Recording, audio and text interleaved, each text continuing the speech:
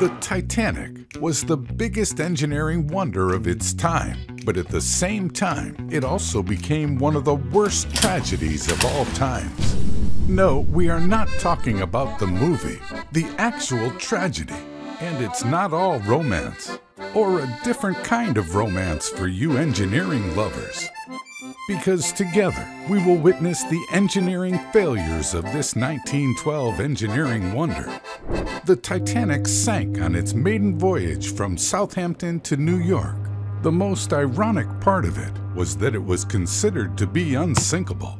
Good judgmental skills, 1912 people. Way to go. But why did people believe that the Titanic wouldn't ever sink in the first place? And how could a ship that was believed to be unsinkable sink?